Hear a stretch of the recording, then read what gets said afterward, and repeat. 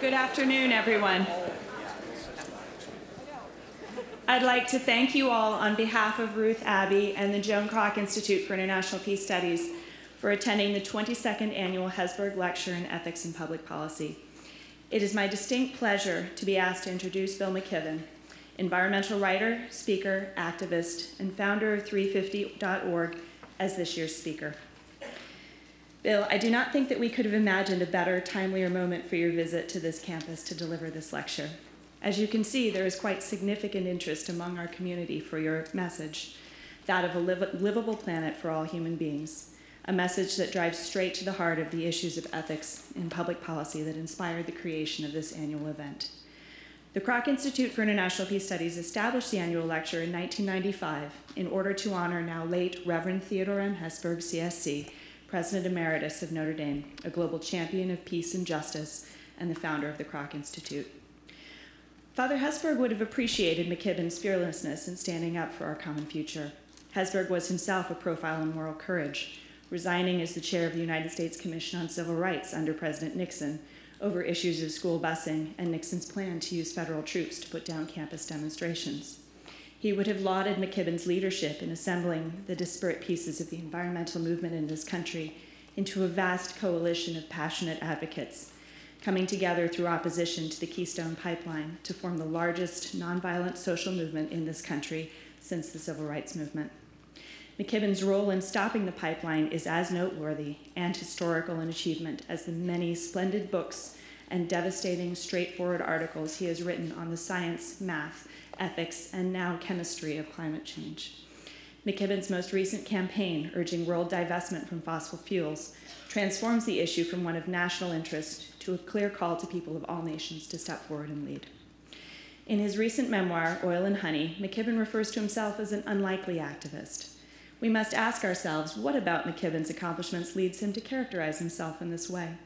He was the 2013 winner of the Gandhi Prize and the Thomas Merton Prize, and in 2014 he was awarded the Right Livelihood Prize, sometimes called the Alternative, Alternative Nobel.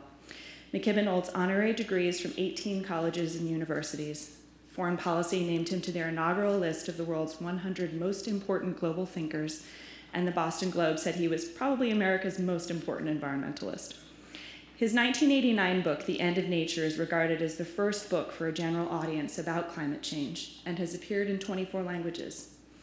It was this book that caught our attention, and the we to which I refer is the Purple Druids, the environmental club at Williams College, of which I was a member in the mid 1990s.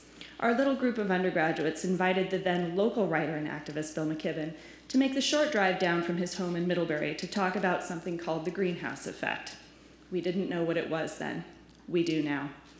His passion and dynamism were infectious, and I was forever changed by hearing him speak. Twenty years on, a much larger group of faculty, staff, and students gathered on this campus in advance of today's lecture to discuss his most recent book and spent several hours galvanizing ourselves around his message to move Notre Dame closer to the forefront of climate action. The if the energy in the room was any indication, McKibben's leadership for the planet is anything but unlikely. He kindles more courage in others. He leads by example. In his own inauguration speech, our university president, Father John Jenkins, stated, and I pray see here, at a time when our environment is threatened, Notre Dame must be the university that combines the highest level of disciplinary expertise with the resources of its moral and religious tradition. We step onto controversial ground here. Yet, if we at Notre Dame do not address these issues, whose voice will fill the void? Let no one ever again say that we dream too small. It is vital to dream and to set goals. With respect to climate change, Bill McKibben is our most important example of how to achieve those goals, and that we must achieve these goals for the sake of our common humanity. On behalf of the entire Notre Dame community, it is my honor to welcome our 22nd annual Hesburgh lecturer, Bill McKibben.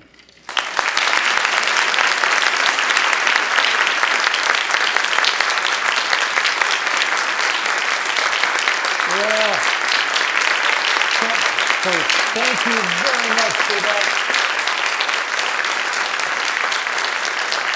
Uh, thank you for that kind introduction, much too kind. Um, before I start my formal remarks, let me just say a couple of things. The first is what an honor it is to be here for the Hesburgh lecture.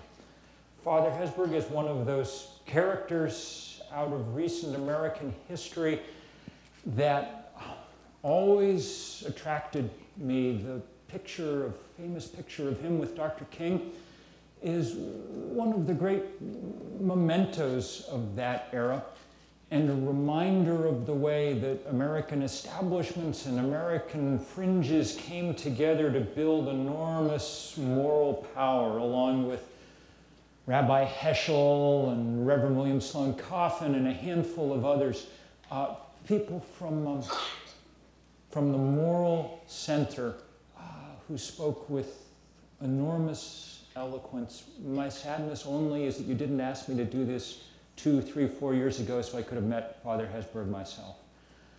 Um, the second thing I'd like to say comes in the form of an apology. It is an utterly gorgeous day here, beautiful spring day. I've had the time of my life just walking around I've always wanted to see Notre Dame. Of course, the first thing I wanted to do was go look at Touchdown Jesus there on the side of the building and just see everything there was. It couldn't be a more beautiful day. And my role in the world is essentially just as a professional bummer outer of people. And, and for that, I apologize. I've drawn you in here into this windowless bunker, and I'll keep you for a little while and then release you back out into the beautiful world. And I'll try not to be despairing the whole time, but that is where we will, in a sense, begin. I was thinking, I had the pleasure of reading Laudato Si with some um, depth last summer. I, I, wrote a long review for the New York Review of Books when it emerged, and so I got to spend a couple of weeks with that document, and it was uh, a remarkable pleasure to do it. It is worth reading and rereading. Far from a statement on climate change, it is a thoroughgoing critique of modernity um, on the highest level and at the greatest depth. And one of the things for which one admires Francis is the good, good humor with which he engages the world. The most difficult problems with an air of equanimity and a sense that change is possible and, and only the rarest flashes of real anger. One would not, I think, want to be a um, sumptuary bishop in his, you know, company, but other than that, um, he seems truly to believe in encouragement uh, above all. But there was, and I was thinking of this this week, one sentence in there that was uh, almost an aside, but it did come with an angry or at least an elegiac tone in the middle of long descriptions of the problems that we face. He says, almost in passing, Who turned the wonder world of the seas into underwater cemeteries bereft of color and of life? I was thinking of that this week because as the last three weeks have proceeded, reports have been coming in from every corner of the tropical world about the very rapid progression of what we call coral bleaching. When the ocean temperature reaches a certain point, it kills the small animal necessary to create coral reefs. The corals expel these animals. They begin to, the, the, the beautiful colored corals begin themselves to turn bone white. Uh, literally a, a, a, boneyard, a cemetery beneath the ocean. This has happened on a large scale around the world twice before in the last 25 years, but this event, coming from the hottest ocean temperatures we've ever recorded, seems to be beating the size of those previous events by three, four, five times. As of last week, scientists said that at least 36% of the world's coral reefs were now on death watch. Death watch for this year, this season, maybe more. The reports coming in in the last 72 hours from the Great Barrier Reef of Australia, the largest coral reef on Earth, uh, an astonishing assemblage of beauty, uh, an enchanting corner of God's brain, are almost impossible to read without losing heart. Scientists describing crying into their masks as they dive along those reefs. Um, researchers coming back from what they described as the saddest research trips of their lives, with hundreds of kilometers of dead reef stretching out before them. When I started writing about this in 1989, when I wrote, as Kat said, the first book about climate change for a non technical audience. The, um, the idea that we would have reached this point within barely a quarter century would have seemed preposterous, even to those scientists most worried about climate change. We knew that trouble was coming. We knew that when you burned coal and gas and oil, you put carbon into the atmosphere. We knew that the molecular structure of CO2 and of methane trapped heat that would otherwise radiate back out to space. But we didn't know how fast and how hard it was going to pinch. Scientists, being by nature conservative, turned out to have dramatically underestimated both the speed and the power of the changes that we were unleashing. It has pinched very fast and very hard indeed. People would not have guessed in 1989 that we would already have lost more than half of the ice in the summer Arctic.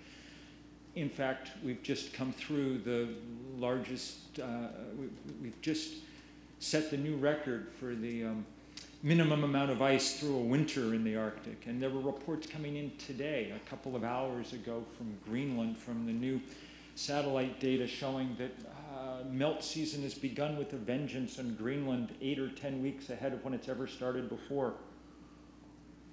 The pictures and the charts from today are scary. People would not have guessed 25 years ago how quickly we would have seen storms reach new, powerful force.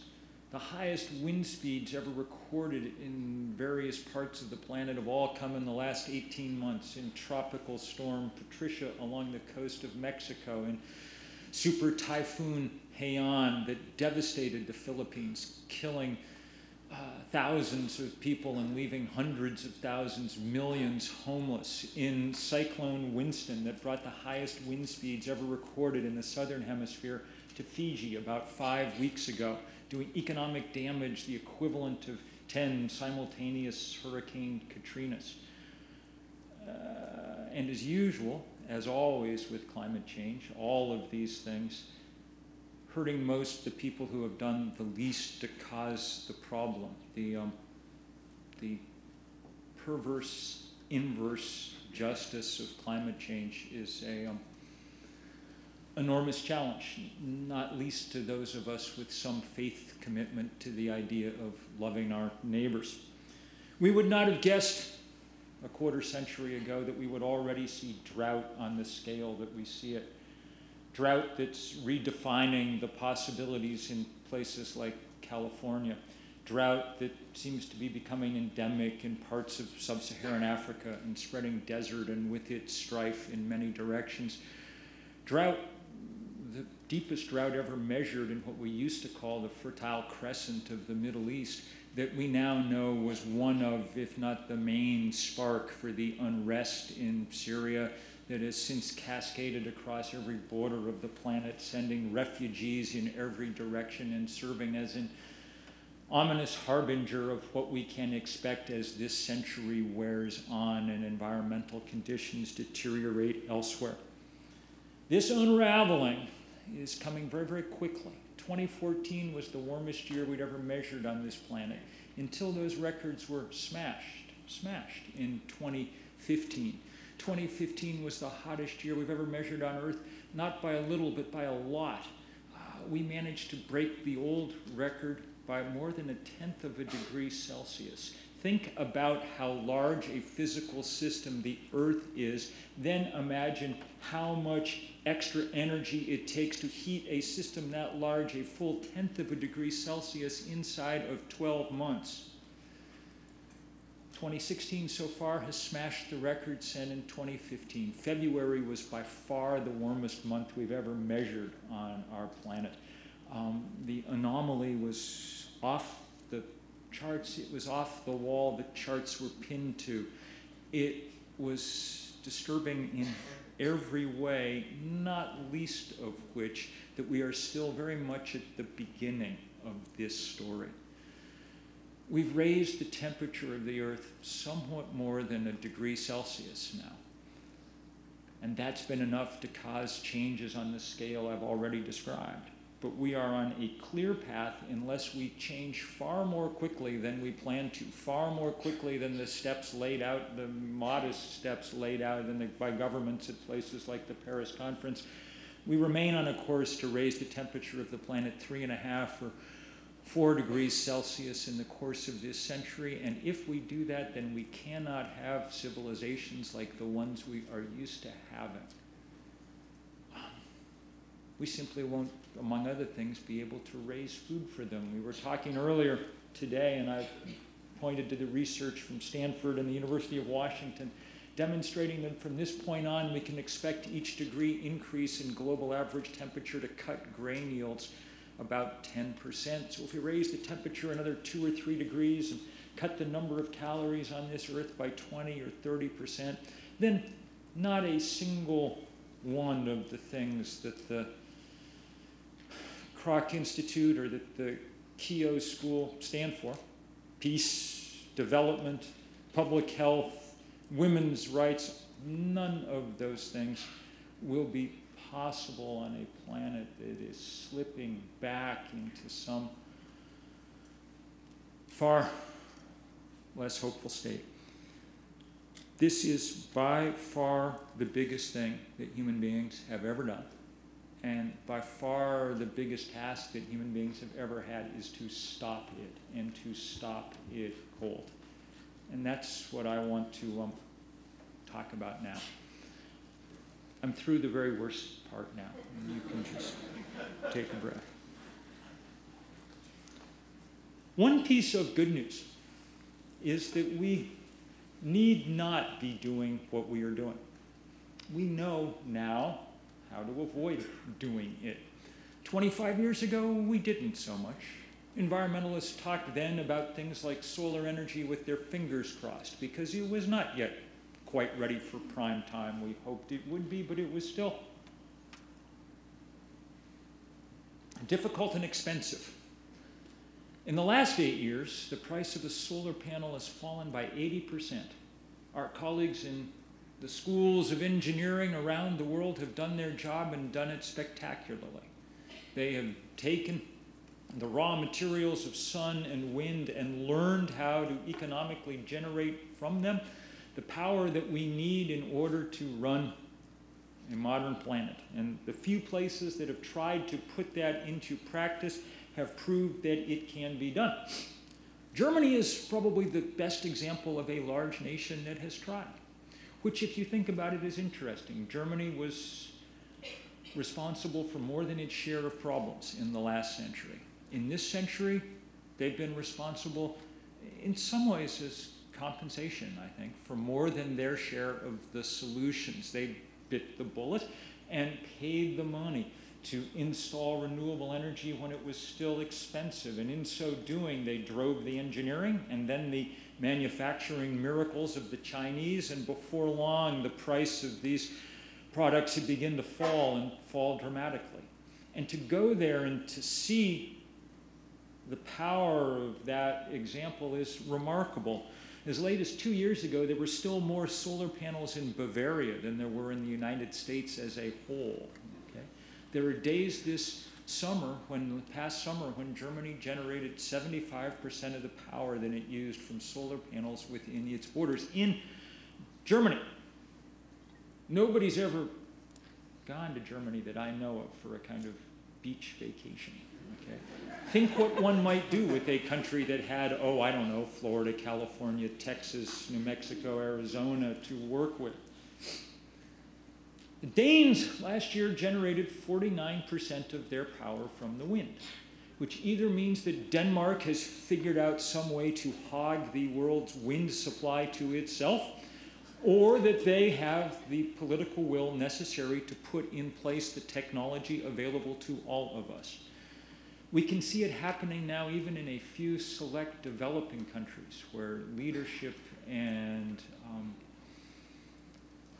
leadership and human ingenuity have done remarkable things. Bangladesh looks like it will be close to entirely solarized within the next five years. They're putting up array. I saw the very first solar panel in Bangladesh. They're now putting up 90,000 arrays a month using that remarkable financial, financial infrastructure from the Grameen Bank and other microcredit enterprises to allow the very fast rollout of electricity to places that never got it in 200 years of the fossil fuel era. And it's remarkable to see and a beautiful sight.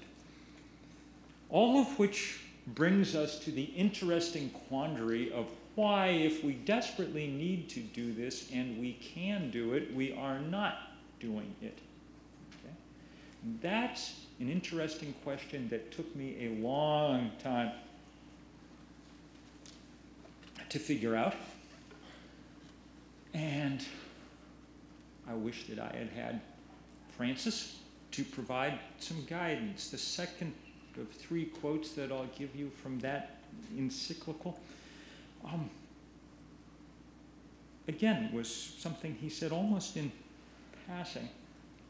He said, Whatever is fragile, like the environment, is defenseless before deified markets, before the corporate power that's come to dominate our planet. In this case, the reason that we have not made progress is because there is an adversary on the other side that has done everything possible to prevent that progress, and that adversary is the richest industry that the world has ever seen, the fossil fuel industry. If you are looking, as the prophets said, for the powers and principalities in our day and age, that is where they reside. That sounds hyperbolic, perhaps, but it is not hyperbolic. A month or so after Laudato Si was published, another important set of publications began to emerge in the Los Angeles Times, from the Columbia Journalism School, and other investigative reporters. And what they found, looking at for many, many months of investigation in, in remote archives and through the use of whistleblowers who were coming forward, what they found was interesting. It was about Exxon, the richest and biggest of the fossil fuel industries. For many years, the richest company on the face of the earth made more money year after year than any company in the history of money. What they found was that Exxon had known everything there was to know about climate change as early as the late 1970s. Their scientists, not, not surprisingly, were studying the carbon molecule because carbon was their business. They wished to understand it.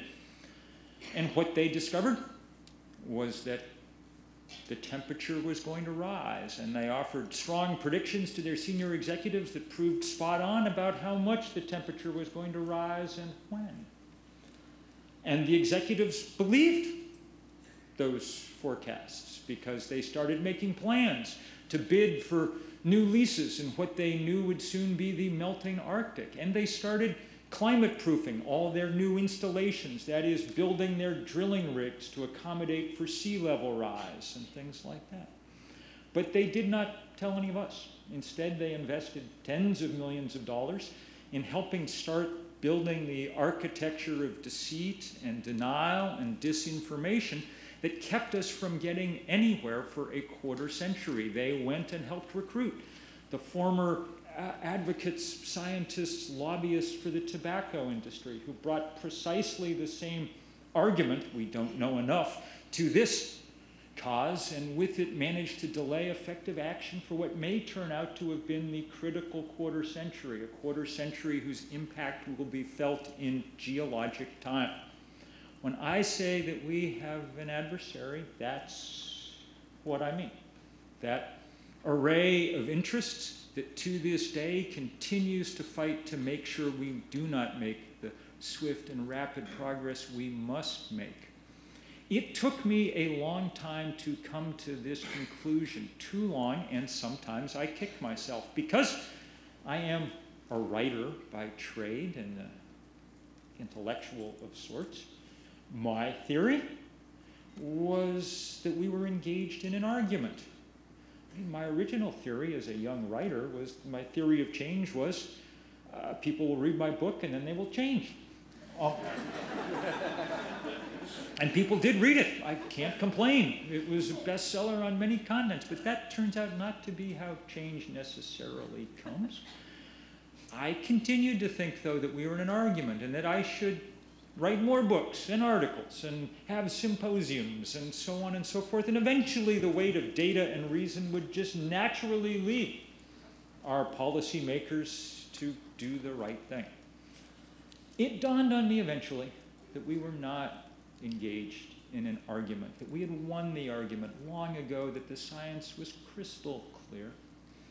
We weren't engaged in an argument, we were engaged in a fight. And that fights, as fights usually are, are about money and power. And that lacking both, we who were worried about this were going to need to assemble some.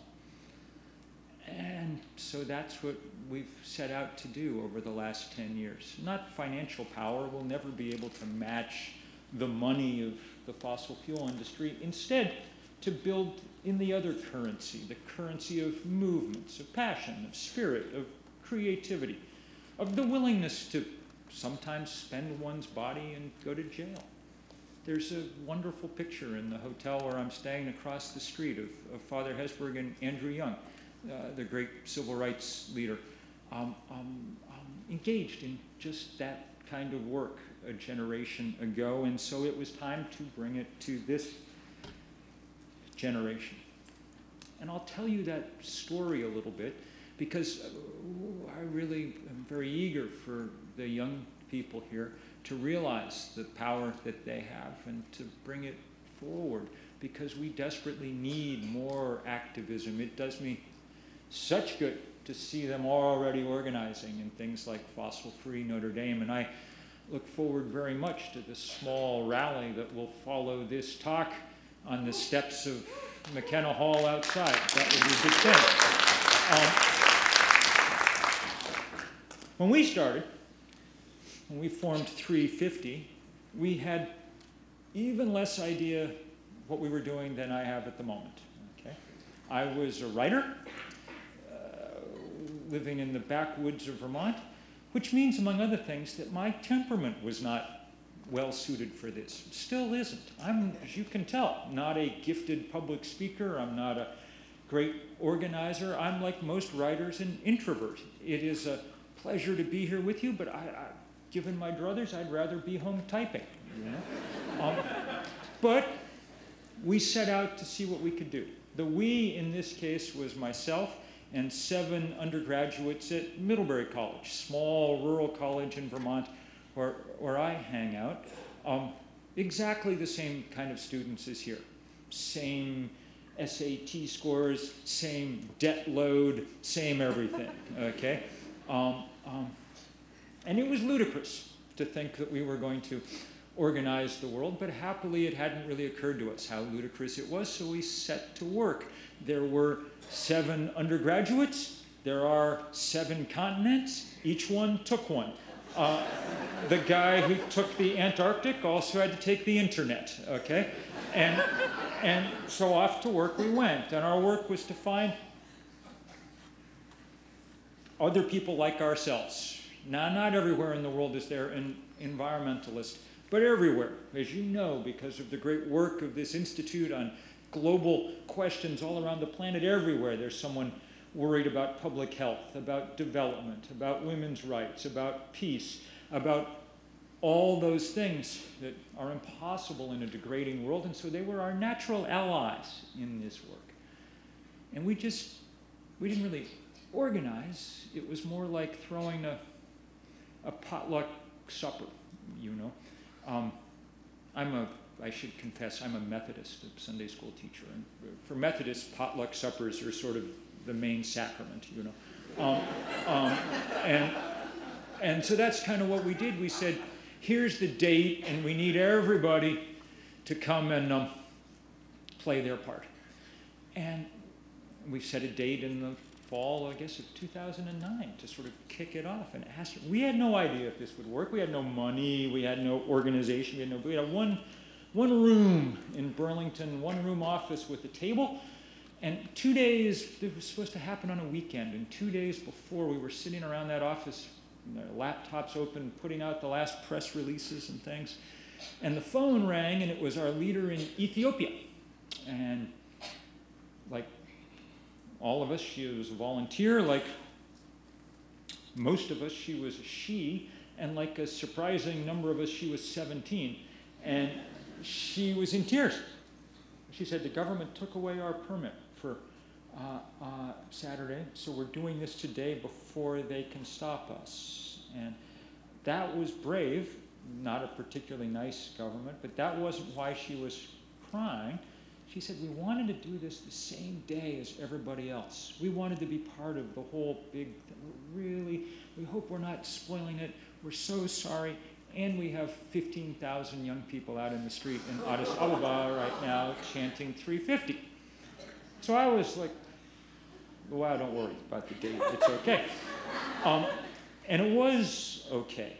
It turned into, over the next 72 hours, a remarkable flood of pictures coming in, sometimes 20 and 30 a minute from every corner of the globe. The second one actually came from US troops in Afghanistan. We're making a 350 with sandbags and we're parking our Humvee for the weekend and walking, okay? I could show you pictures for many hours of that day and of the days that followed, and I'll content myself with just a few because I want you to see, especially those of you who are working hard on these fights, I want you just to see who your brothers and sisters are in this work around the globe. Now, I had heard always that environmentalism was something that rich white people did, and if you worried where your next meal was coming from, you wouldn't be an environmentalist, and on and on. It took about half an hour of watching these images flood in to realize that that was just nonsense. Most of the people leading this work around the planet were poor and black and brown and Asian and young because that's what most of the world is made up of, you know. And what do you know? Just as concerned about the future as anybody else, maybe more so because the future bears down hard if you're in those places. This is someplace on the Congo River um, above Kinshasa, near where Conrad, in his Eurocentric way, identified the heart of darkness on our planet, you know. But um, they're not obviously rich. They didn't have a digital camera. The picture didn't come out too well in their home darkroom, so they wrote in what their banner had said. But there they were, completely engaged, and all over the world, the same kind of wit and the same kind of engagement and involvement. Um, for the first time, this was 2009, long before Francis, there were a serious number of religious leaders that were willing to get engaged in this work, and it was something we tried very hard to do, and we were very happy to see it. There, just for example, is Cape Town, and that's the head of Muslim South Africa. Next to him, the kind of head of indigenous groups and traditions. Behind them in the scarlet, Desmond Tutu's successor is Anglican Archbishop at the head of a huge multi faith march across South Africa. There's our most important evangelical liberal arts college, Billy Graham's alma mater. I'd been to the Holy Land to do some organizing, to Bethlehem, in fact, which, uh, I mean, people wanted very much to do something because the Dead Sea has been shrinking very rapidly as, among other things, temperatures rise. Um, but of course, and I, you know this because you have a facility near Bethlehem, um, there's too many military checkpoints in the way to make things easy. So the Jordanians said, we'll make the big three on our beach. The Palestinians said, we'll do the five on ours. The Israelis said, we'll take care of the zero. It was, for obvious reasons, a big and interesting day that got a lot of coverage there. 300 demonstrations across China, vitally important country. One or two of them got broken up by the police because China is a hard place sometimes to do this work. But China is also doing remarkable things. They're now reducing their use of coal at a rapid rate and putting up renewable energy faster than any place in the world has ever done it. Those are our brothers and sisters in the Maldives. That's the Student Government Association, wearing orange t shirts, much like the ones that you all have on today. And they are demonstrating as best they can the existential problem faced by those who live on low lying parts of the planet. The Maldives are more or less paradise. Humans have inhabited them without cease for 5,000 years. It's all white sand beaches and coconut palms. The main problem in this archipelago that straddles the equator in the Indian Ocean is that the highest point of the nation is a couple of meters above sea level, which is a bad place to be on a rapidly warming planet. They're fighting, and fighting hard. This was the biggest story in Google News for about 36 hours, and I think the reason was that the people taking part did not look the way that editors thought environmentalists are supposed to look. So there's Yemen, which is the toughest place in the world, perhaps. Okay, all the women in that circle, that zero, are wearing full black burqa. So to us, they do not look like the local chapter of the Sierra Club. Okay, but their hearts are in precisely the same place. They are not thinking about themselves. They're thinking about the future, about their children, about the rest of creation. It was moving as could be in every corner uh, there's the oil rich sheikhdom of Abu Dhabi. You can see down front some oil rich sheikhs in their dish dashes. But smarter perhaps than some oil men, because you can see at the back the edge of what was then the largest solar array on planet Earth. These guys are committed to the proposition of remaining rich no matter what, I think. And, um, there were three or four hundred pictures that just ended up in a file marked 350 adorable, okay? and they were adorable, and they were also hard to look at. Look at the eyes of that girl in the middle. I've looked at them a few times. Um, those girls are going to end up probably refugees in the course of their lives. And not from anything that they have done, from stuff that we have done. Okay? So, we've kept doing this all over the world. We've loved it. We've done, we think, about 20,000 demonstrations and rallies and gatherings in every part of the world except North Korea. And it's been magnificent work and education of the best sort um, um, in tough places and in places I'd never heard of before.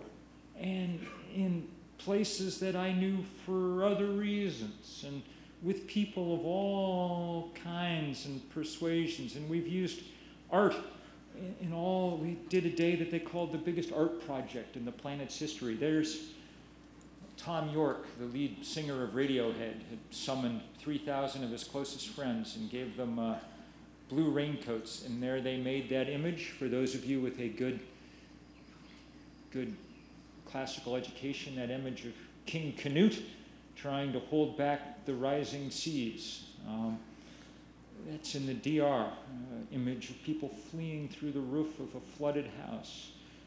Those are solar panels that that scarab beetle is pushing across the Egyptian desert.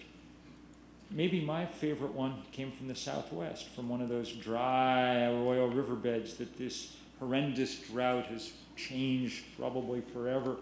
But when the satellite came over, two or three thousand people gathered there, whipped blue blankets overhead for just a minute to bring that river back to life. Okay? Now, I love this kind of work, and I would love to keep doing it for my whole, for many years. And if we had enough time, it would actually be precisely the right way to keep proceeding with this sort of education that leads to a kind of graceful change. Humans and their institutions change best when they change slowly. Um, That's the most inexpensive and least traumatic way to do things, and education is the best way to go about it. And, and you know, it would work. You'd put a few solar panels on your house, and your brother in law would come for Thanksgiving and see them and go home and buy a Prius. And before long, within a generation or two, we'd be getting where we needed to get. Our problem is we do not have a generation or two. We had to start a generation ago if we were to catch up with the physics of climate change. We are way, way far behind. So now, far more, far more rapid action is required, which means that education at this point, we felt anyway, had to be supplemented with a certain amount of confrontation. I recognize that I'm in politer company than I usually keep. It's always good to be in the Midwest where people are always calm and pleasant and polite and and and and and Notre Dame is um, is a place renowned for its civility, but confrontation sometimes is required. Uh, these are pictures from now almost five years ago when we launched the fight against the Keystone Pipeline in Washington. A pipeline that at that point no one had ever heard of, um, and a pipeline that was guaranteed to be approved. Uh, people told us we had no chance, and they were really right.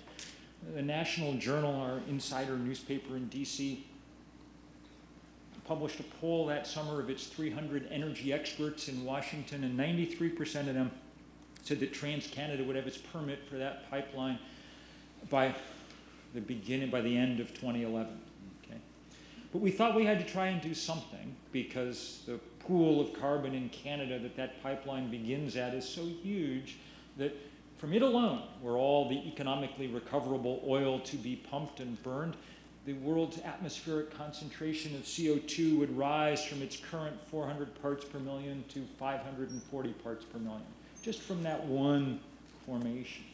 So we figured we had to try, and, and I wrote a letter asking people to come to Washington and commit civil disobedience. And people did in large numbers, larger numbers than about anything in 25 or 30 years in this country. And we filled the jails for a couple of weeks, and it worked. It launched um, what turned into the iconic uh, campaign, environmental campaign of its time. First went to other countries and then back here, and people were soon circling the White House, five deep, shoulder to shoulder around that mile and a half perimeter. And, and, and Barack Obama said, okay, let's take a little while and study this. Maybe we should wait until after the next election. Um, and that was good by us. And we kept up the pressure and sent more emails than to the Senate in a single day than on any subject, filed more public comments than ever. Finally,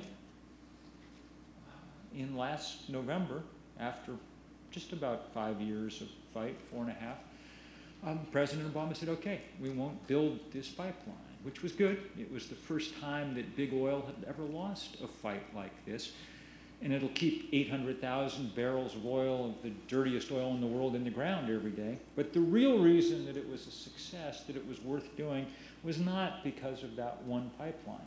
It was because it launched a thousand other battles. The, the head of the American Natural Gas Association um, lamented to his colleagues at a conference last summer he said, we somehow have to find a way to stop the keystoneization of everything that we're trying to build around this continent. I confess that my evil heart rejoiced at hearing those words, okay? Um, everywhere now there is resistance, and that resistance increasingly wins thanks to people like the people in this room. Last summer, for instance, in Portland and Seattle. Shell was setting forth to drill in the Arctic, and people by their tens of thousands took to small boats in those harbors. We called them kayaktivists.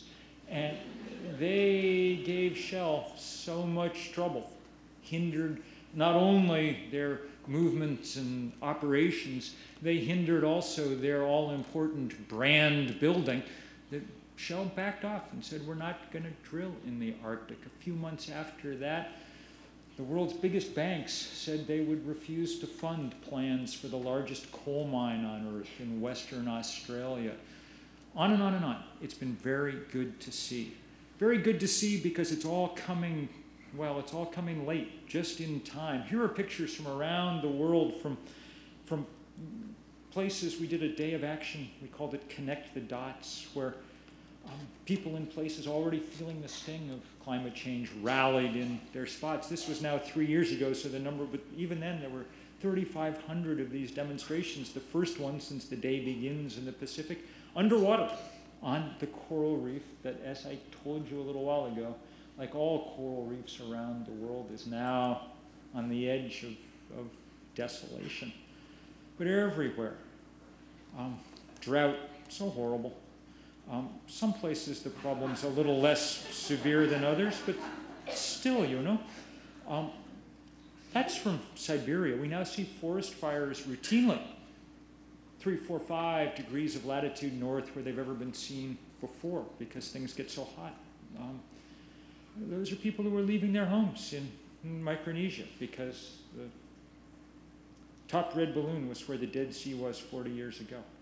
Um, um, those people are in the um, zone in Pakistan that in 2010 had the worst flooding since Noah. Uh, it rained forever up in the uh, Khyber Pass, and that water came pouring down and into the delta of the Indus and spread out to the point where 25% of the country was underwater. 20 million people were out of their homes. Okay? And when you look at them, you are struck by the realization that they probably had precious little to do with causing the problem by which they are afflicted. Same thing in every corner of the world. Um, place after place after place after place. That picture stuck in my mind. It might have been the smallest demonstration of the day, just some street turned into a muddy river in Haiti. And do I see, by the way, that you have Paul Farmer coming to visit soon, the great Haitian doctor? I so recommend hearing him. What a hero. Haiti. The thing that struck me was what the sign that those children, your actions affect me, which is true. More people died from Hurricane Sandy in Haiti than died in New York. Okay, your actions affect me, but not the other way around. There's really nothing anybody in Haiti is going to do to solve this problem. Um, they can't use less fossil fuel. They basically use none now. They can't get to the White House or any other seat of power where anyone would pay any attention to protest. If you added up all the endowments and portfolios and things in that country, uh, it would come to far less, I'm sure, than even what Notre Dame has on hand your actions affect me, so our job is to do the work of affecting the world because we have been stuck in the places that have the leverage to have that effect. That's why we were so glad on the heels of this Keystone stuff to stop playing defense and try to play offense, to launch this divestment campaign that has spread all over the world. Okay? And it's been wonderful um, to do it for a couple of reasons. One, probably the most important, is that it's taken the message with which it launched and spread it very wide. We began with an analysis from a small group of financiers, a little think tank in London, that had done the work of adding up from SEC filings and annual reports how much carbon the world's fossil fuel industries had in their reserves, the coal and oil and gas that they had told shareholders and banks that they were going to dig up and burn. And it turned out that that number was already about five times higher than the amount of carbon any scientist thinks we can burn and stay with anything like a working planet. That is, if they carry out their announced business plans, then the planet tanks. No mystery, no drama, it's done, okay? Um, And when we read that, we thought, well, this means we have to figure out some way to dramatically alter those plans, to rewrite that script. And drawing on the um, lessons of people a quarter century before who'd fought the apartheid government in South Africa, we launched this divestment campaign. Now, when I first laid out that math in 2012, it was kind of on the fringe. I wrote the first big piece about it, um, but it was in Rolling Stone. And it wasn't even on the cover. Justin Bieber was on the cover, okay? um, um, within three years, thanks to the work of students, including the students here, thanks to the work of many others, that divestment movement has not only divested $3.4 trillion worth of endowments and portfolios from fossil fuel, it's not only divested the Episcopalians and the uh, United Church of Christ and the Unitarians, it's not only divested the University of California system, or at least begun to, and the University of Hawaii, and the University of Dayton, and uh, Georgetown has begun, and Stanford and Oxford. I read an hour ago that Yale had just begun the process of announced divestment this afternoon. Not only had it done that, more importantly, in the process of arguing for it, it had driven that number that we had five times too much carbon into the heart of the climate debate. Now it's not me writing in Rolling Stone, now it's the head of the IMF or of the World Bank. Now, as in November, it was the head of the governor of the Bank of England, Jay Carney, speaking to the world's insurance industry in the auditorium at Lloyd's of London, our most venerable insurance company, saying in exactly the same words there is more carbon than we could ever use. You are exposed, highly exposed to toxic stranded assets. This is a carbon bubble. That was part of the language that informed the debate at Paris that produced even the rudimentary beginnings of a so thank you very much for that good work, all of you, students especially. And we need very much to keep it up because we need places like Notre Dame rising to the occasion, um, taking the enormous reputation and prestige rightly earned by decades of leadership from people like Father Hesburgh and by a generation of scholars and students, and using it in this case to deprive the fossil fuel industry of the social license under which it operates. If you are partners with them by investing in them, then you are part of the process that I've been describing. Let me show you just a few more images here so you can see the resistance that's rising in every corner there are those kayaktivists at work. Um, here's the biggest demonstration about anything that's happened in this country in many years. We organized it in the fall of 2014, kind of as a lead up to those UN talks. And we had 400,000 people appear in the streets of New York. It surprised us, I got to tell you, the size of the throng that emerged. It was a very powerful and moving day. And it was echoed in places all over the world and on Wall Street. And, but the pictures I want to show you, just kind of leave you with, since I began by talking about corals and the devastation in the Pacific, are these pictures from our brothers and sisters on the island nations of the Pacific, Vanuatu, the Marshalls, Micronesia, Tuvalu, places that may well not exist when this century ends, okay, because they're so low to the sea. But their slogan, as you see, is we are not drowning, we are fighting. And boy, are they fighting. They, um, they all built, took, each island felled a tree and from it built whatever the kind of traditional model of canoe on their island was.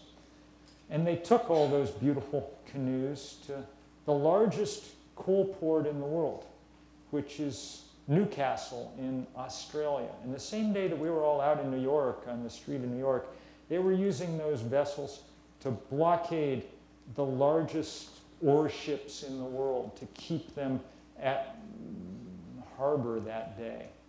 And those images define the battle in which we are engaged. It is the many and the small against the few and the large. Okay?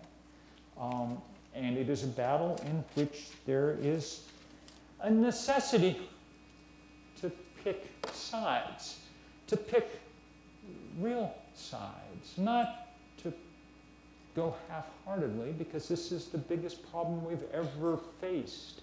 It's a problem for our time, at least, as horrible and dramatic as the problem that our grandparents faced when fascism was on the rise in Europe. And then people had to go and die in their hundreds of thousands to cope with the crisis that they face. No one's asking any of us to die merely to go beyond our comfort zone, to do things that are a little bit difficult, um, um, to stand up a little bit to the powers that be.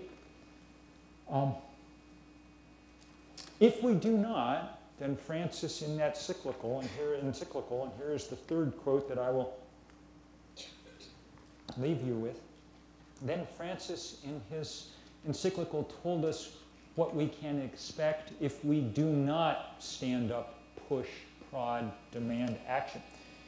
He said, in that case, the most we can expect from our leaders is superficial rhetoric, sporadic philanthropy, and perfunctory expressions of concern.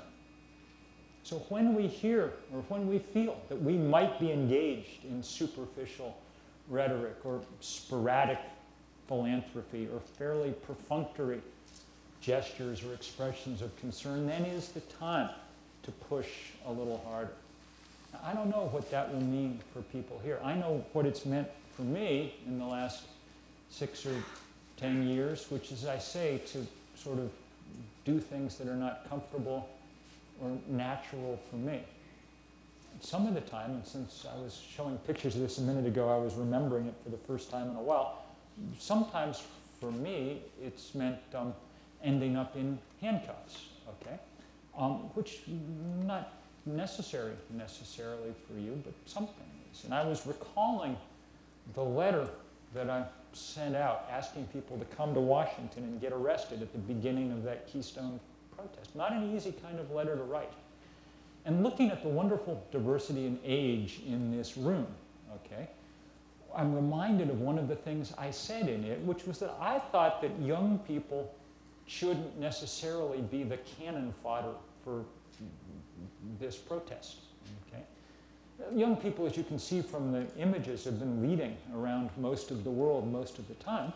But if you're 22 right now, the possibility is that an arrest record might not be the absolute best thing for your resume going forward.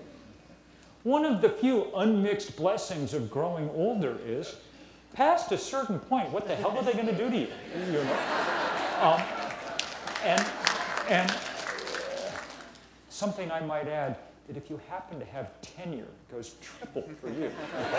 um, um, um, um we didn't ask people when they came to Washington, how old are you? Because that seemed rude, you know. But uh, we did ask those people who were getting arrested, cleverly, I thought, who was president when you were born? Okay? and the two biggest cohorts were from the FDR and the Truman administrations. On the last day, there was a guy arrested with a sign around his neck that said, World War II vet, handle with care. Okay? He was so old, he'd been born in the Warren Harding administration which was so long ago, I'd essentially forgotten there was a Warren Harding administration. All right. Um, um, the best part was that the young people who were there got to see their elders acting the way elders are supposed to act in a working society. The other thing that I wrote when I sent out that letter, and I'd forgotten this until recently, until I was seeing those pictures uh, was that I'd said, if you want to come get arrested, would you please put on a necktie or wear a dress? Okay. Now, I, I wore a necktie today because here I am at Notre Dame, but uh, in Vermont, I can go a year at a time without wearing one. I can, you know, my thought process is constrained by the knot around my neck. I don't much like them, but um, I wanted people to do that because I wanted the pictures from that day to send the same kind of message that I've been trying to send today to you, which is that there is nothing radical at all about what we are talking about. Okay? Just the opposite. All we're asking for is a world that works something like the world that humans have always known. I mean, for 10,000 years, of which we have records of human beings, we have existed in something called the Holocene, a period of benign climatic stability that coincided not coincidentally with the rise of civilizations. Now we're out of the Holocene. We've raised the temperature enough, disrupted the climate enough that we've emerged from it into something else, and the only question is how far into that something else we're going to go. So to ask that we stay as close as possible to it, to a world that had coral reefs, to a world that had ice caps, to a world where the wind could only reach a kind of certain velocity, that's not radical. That's conservative, right? deeply conservative. Radicals work at oil companies. If you are willing to get up in the morning and make your fortune by altering the chemical composition of the atmosphere, and you're willing to do it once scientists have told you what it will do, and once you've seen those predictions coming true, if you're willing to keep doing it, then you're a radical unlike any radical we've ever had on this planet. And the job of the rest of us is to figure out how to check that process and to do it fast. And I will end, um, since I'm a rioter, by telling you the truth, even though it's not necessarily super inspiring. It's not clear we can win this fight. Not clear.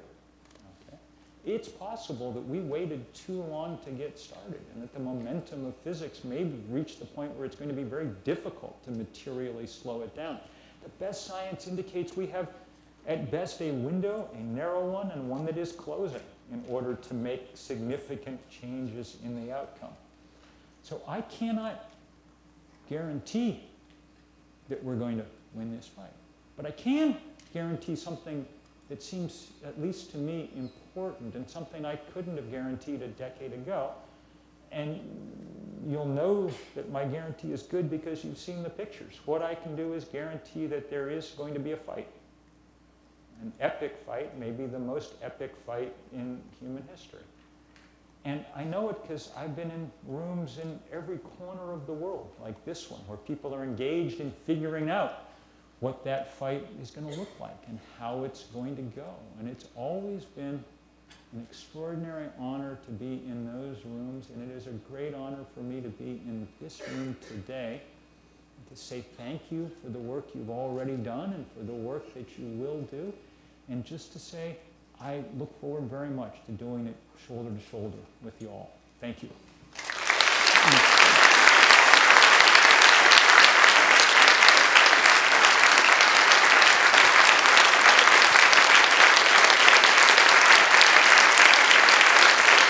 to ask questions, we have two microphones on the left and right of the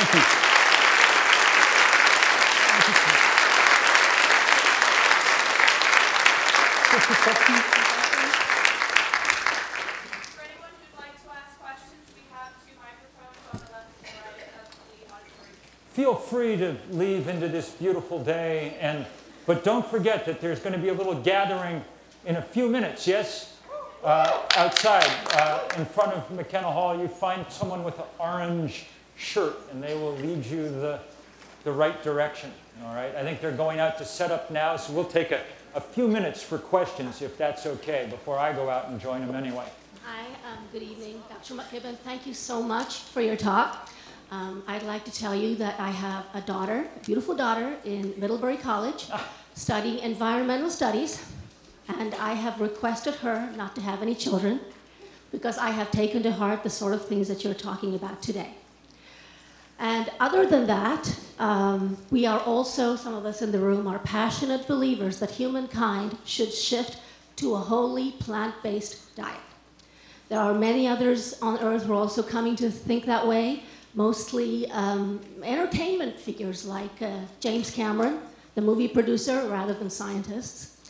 But I guess I would like to ask you, out of all the many questions that I have for you, is what do you think about this recent study? Because there, there seem to be new ways to break through with that news. Like just in the last week, that everybody's been talking about how if, if the whole world went vegan, we can save 8 million lives and reduce greenhouse gases by 25%. Okay, so let me answer this in a couple of ways. One, um, I'm very glad your daughter's at Middlebury, and I'm very hopeful that she'll have at least a child someday.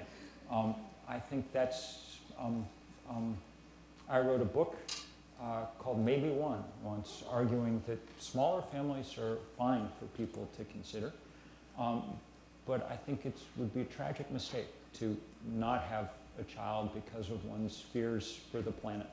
Um, um, part of uh, part of our reason for being here at this point is to bear witness to the beauty of this place, and one enormously important way to do that is to continue the process of which we are a part. On the question of eating, I'm very glad that you've raised it, and we should figure out, all of us, how to eat lower on the food chain as best we can. Having said that, the question becomes how to, how to spend one's time as an activist organizer, and I'll just explain to you my logic for spending my time the way I do. Uh, there are a number of individual solutions that all of us can and should engage in.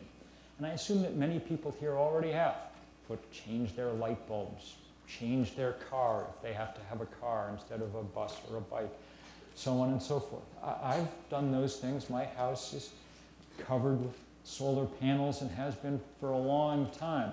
Um, you know, I drove the first electric Ford in Vermont, I, on and on and on.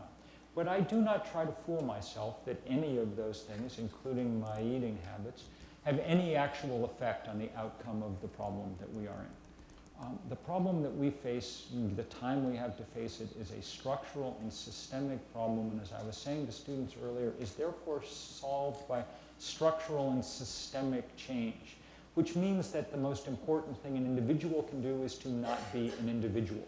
It is to come together with other people to form movements large enough to make change.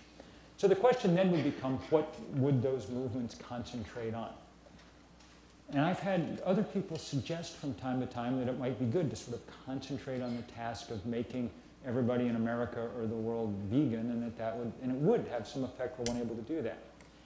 My guess is that that's not the optimal use of organizing time, and here's why. At the moment, half of 1% of Americans are vegans.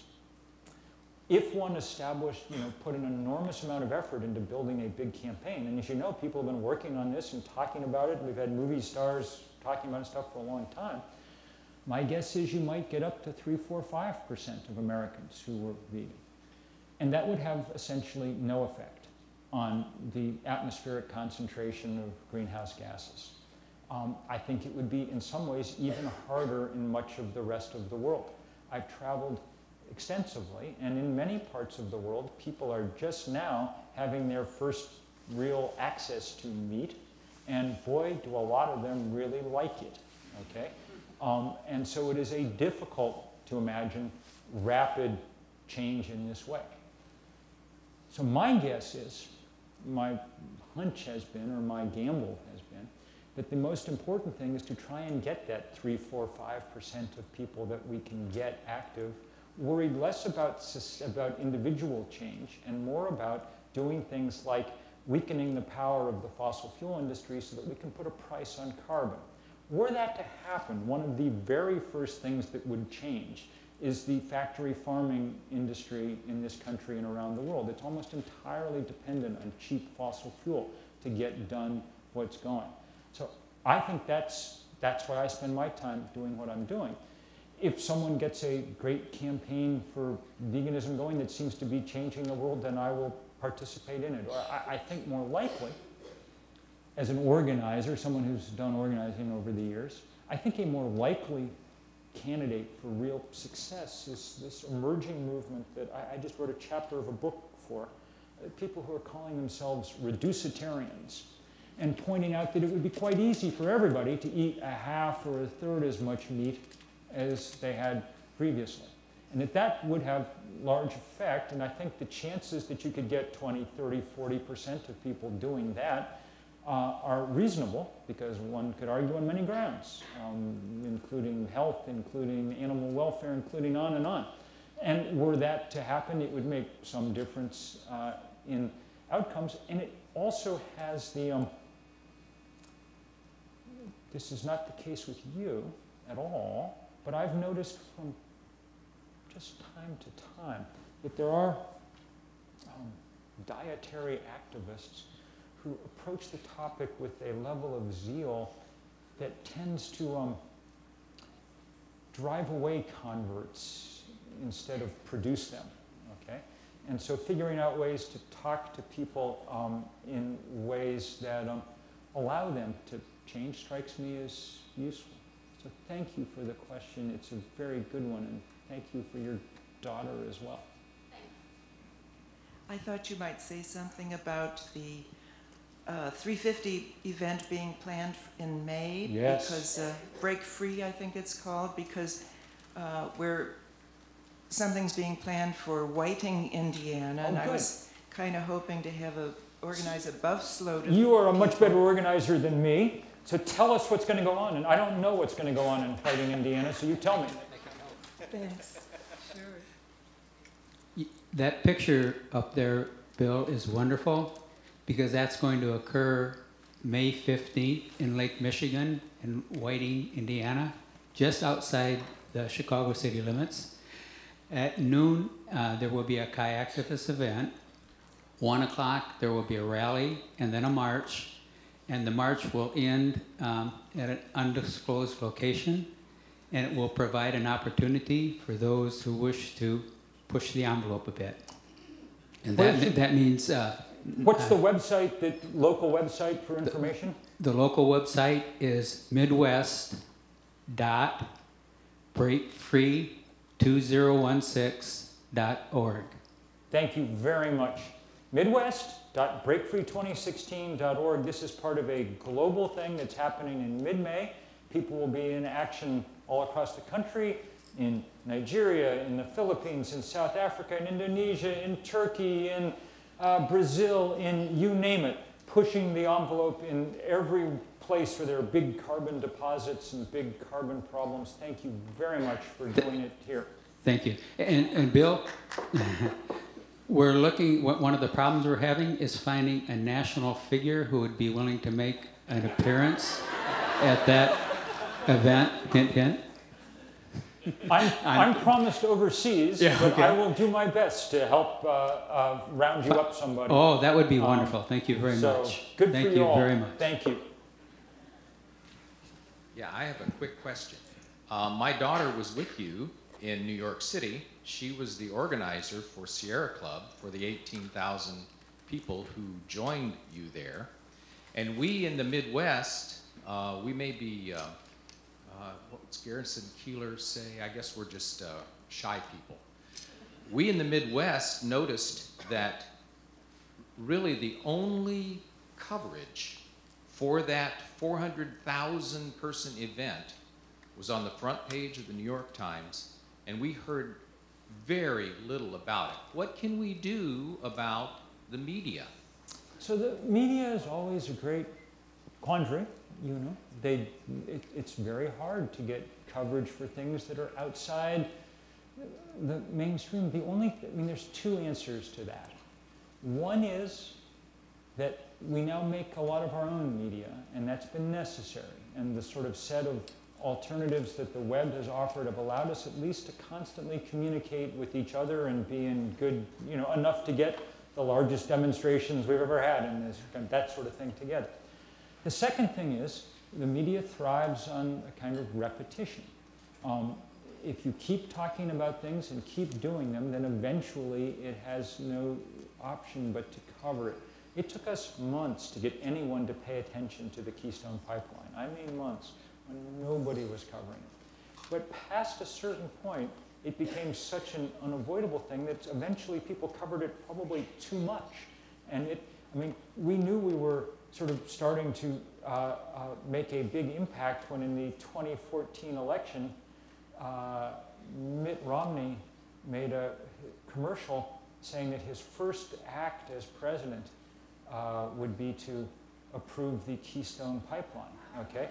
Then he said, um, if I have to, I'll build it myself, which was, I always thought was just the most charming image of Mitt Romney, you know, like, which end of this thing goes in the ground again? You know, um, um, you know um, um, um, but that's what happens eventually, uh, if, if one's persistent enough. But do things that are good on their own terms and important on their own terms and keep at them, and eventually the media will catch up with you to one extent or another. But in the meantime, let us all know through Twitter and through all the kind of world of blogs and everything else that now allow us to have kind of knit together a jury rigged media of our own that actually is remarkably effective.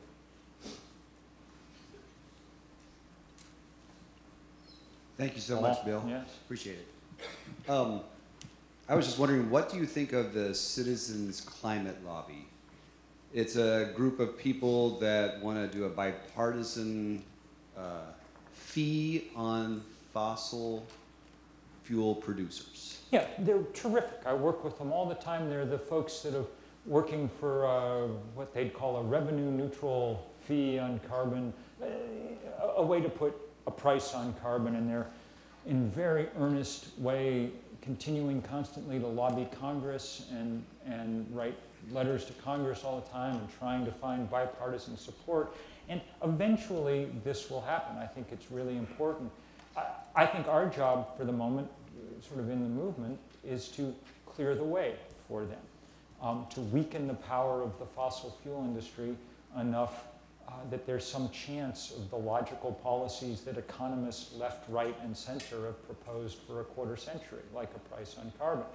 So if you're wondering why it's important for, say, Notre Dame to divest from fossil fuel, that's a perfect example. Okay? If we can weaken that, if we can't weaken that industry, then it does no good to have the best set of possible policies in the world. You all know enough about how politics operates to know that at the moment, there's very little chance of wise climate policy passing in the US Congress. The fossil fuel industry is too strong. Um, um, that's why we need to weaken them. And that's why we do what we do. Just to let you know, I'm the leader of the CCL, the Citizens Climate Lobby in Goshen, and we actually have a meeting tonight at 7 o'clock if you're interested in meeting at the winery downtown. There you go, 7 o'clock tonight. Everybody's a good organizer here. I'm glad to hear it. I'm wary of keeping people longer than we should here, but can we do one or two more questions? Is that okay? One more question. All right. Well, I, I hate to be the last one in some way. Um, well, I, I worked briefly at Notre Dame a few years ago, so it's, it's great to see the fossil fuel, uh, fossil-free ND growing. Um, uh, it was just, I feel like it was just getting started when I was here a few years ago. Um, so I was a little reluctant to ask this question, but I think you suggested that we should, we should push, push our leaders. Um, and I feel like you are, you're a leader um, on pushing people towards action uh, on climate change. Um, the U.S. is a big culprit when it comes to uh, kind of contributing to, to the use of, of fossil fuels. Um, and that puts us in a position where we have a lot of power to, to change that as well. Uh, this is an important year. Uh, it's an election year, presidential election. Um, who, who, in your opinion, as, as a leader on, on climate change action, is the best candidate um, that would lead this country in a direction towards uh, large-scale, you know, divestment in a, a very broad term? I don't know. I don't know what what you'd like me to say, but what do you think? I mean, I'm a aging, graying Vermonter. This is this is. This is our one. This is the one moment when that demographic group will be in the sort of sexy category, you know, and it's entire. I mean, Bernie's one of my old, old, old friends. I introduced him the day he, the people who introduced him the day he announced for office were me, Ben, and Jerry. Okay? um, um, uh, and he's been great on broadening, on, on understanding that this issue is part and parcel of questions about fairness and equality and poverty around this country and around this world. And he's been absolutely stalwart uh, in Washington. He's been the one person, when we started the Keystone Pipeline thing, for instance, the fact that everyone knew we were going to lose meant that no one in Washington wanted anything to do with what we were doing because being associated, you know, going up against the president and losing is not a useful thing in the resume of a lot of sort of powerful people in Washington. Bernie didn't blink an eye. From the very beginning, he was not only with us, he was saying, use the office, we got staff to help. Here's, you know, just every possible way. He's been there from the beginning. Um, I don't know what will come of the election, but I know that he's already changed the discourse in good and useful ways and moved the center of the debate far, far in a direction that we would not have thought likely even six months ago. I know that when we started the campaign on the shores of Lake Champlain on a beautiful June day, it did not occur to any of us that he was going to go as far as he has. And it's, um, among other things, just great fun to watch this grumpy old guy, and he really is grumpy, um, uh, connecting, among other things, with every hip 23 year old in America, you know, who for some reason decided he's the real deal because he is the real deal. So, end of commercial. Thank you for asking.